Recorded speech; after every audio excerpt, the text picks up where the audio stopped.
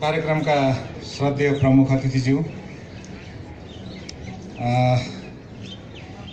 माननीय सदस्यज्यूहरू नेपाल सरकारका सचिवज्यूहरू व्यापार तथा निकासी प्रबन्धन केन्द्रका कार्यकारी निर्देशक श्री शरद विक्रम राणाज्यू नेपाल उद्योग वाणिज्य महासङ्घका उपाध्यक्ष श्री उमेशलाल श्रेष्ठज्यू नेपाल चेम्बर अफ कमर्सका वरिष्ठ उपाध्यक्ष श्री राजेन्द्र मल्लज्यू नेपाल हस्तकला महासङ्घका अध्यक्ष श्री राजेश मल्लज्यू वरिष्ठ उपाध्यक्षज्यू पनि यहाँ आउनुभएको छ। हस्तकला महासङ्घको म उहाँलाई पनि सम्बोधन गरेँ।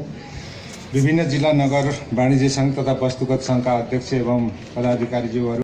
अनुसार डाक्टरले सा सार्वजनिक कार्यक्रमहरूमा नजानुहोस् भन्दा भन्दै पनि यो औद्योगिक प्रदर्शनीलाई हौसला बढाइदिन उद्योगिक व्यवसायीहरूलाई प्रेरित गर्न आइदिनु भएको छ। म उहाँप्रति विशेष आभार कृतज्ञता ज्ञापन गर्न चाहन्छु र उहाँको पूर्ण स्वास्थ्य लाभको कामना पनि गर्न चाहन्छु।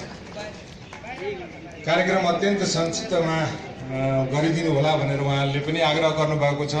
त्यस कारणले गर्दाखेरि म संक्षिप्तमा यो कार्यक्रम सञ्चालन गर्ने र कार्यक्रमको अवधिभर रहिदिनको निमित्त मैले आग्रह गरेको छु। आग्रहलाई स्वीकार